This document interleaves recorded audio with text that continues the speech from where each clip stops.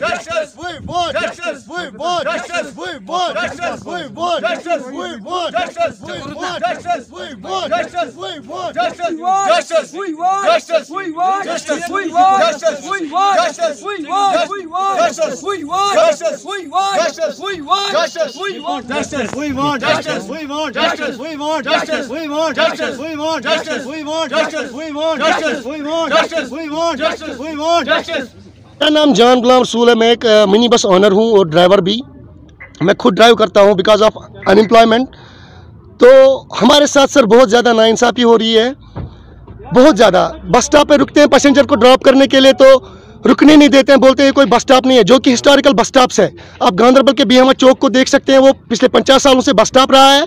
दुधरहमा चौक है, जो पिछले पचास सालों से बस स्टॉप रहा है। जब से मैं बड़ा हुआ हूँ, तब से वो बस स्टॉप था। आज हमें बोला जाता है कि ये कोई बस स्टॉप नहीं है, यहाँ नहीं रुक सकते हो। जबकि टैक्सी ये सोमो जो है वहाँ पे सुबह से शाम तक वहाँ पे सीसीटीवी कैमराज लगे हैं एडमिनिस्ट्रेशन ने लगाए हमने नहीं लगाए हैं।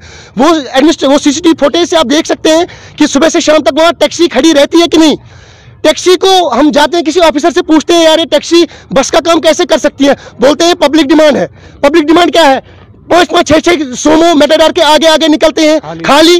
वो पब्लिक डिमांड है खाली गाड़ी चलाना पब्लिक डिमांड है। मेरे ख्याल से पब्लिक डिमांड कम और करप्शन ज़्यादा है। हम आपकी वसादत से लेफ्टिनेंट गवर्नर साहब से रिक्वेस्ट करते हैं प्लीज़ वो इस मैटर की इन्वेस्टिगेशन करें। आखिर ये मसला क्या है? अगर ये करप्शन नहीं है तो ये क्या है?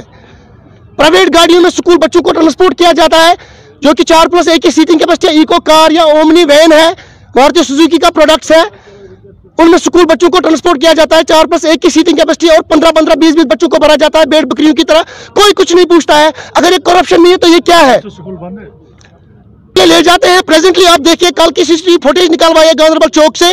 वहाँ पे पुलिस ने ट्रैफ़िक पुलिस का एक बंदा खड़ा था। उसने इको कार को रोका। उसमें मैंने खुद काउंट किया। तेरह बच्चे थे उसमें। उसको पता नहीं उसके साथ क्या बात हुई और छोड़ दिया। कोई चलानिंग नहीं हुई मैंने नहीं देखा। मैं झूठ नहीं बोल रहा हूँ इसके लिए कोई गवाह की ज़रूरत नहीं है। सीसीटीवी फुटेज निकालिए गांधरबल चौक की उससे पता चल जाएगा मैं सच बोल रहा हूँ कि नहीं। सुबह के अराउंड सवा नौ बजे से नौ बीस तक की एक्टिविटी हुई। वहाँ पे कोई चलानिंग नहीं होती किसी को नहीं। सारा ला सारा कानून हम पे ही यार। अप्लाई किया जाता है। बाकी किसी के लिए कोई कानून नहीं है क्या? आप एडमिनिस्ट्रेशन को ब्लेम करते हैं। हम एडमिनिस्ट्रेशन को ऑफकोर्स ब्लेम करेंगे क्योंकि वही जिम्मेदार ट्रांसपोर्ट कमिश्नर साहब का क्या हक नहीं बनता है?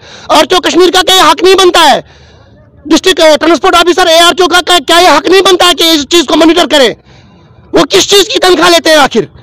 अब आप क्या चाहते हैं? हम चाहते हैं लेफ्टिनेंट गवर्नर साहब से रिक्वेस्ट करते हैं कि प्लीज़ इस मैटर की इन्वेस्टिगेशन करें हमसे इंसाफ करें।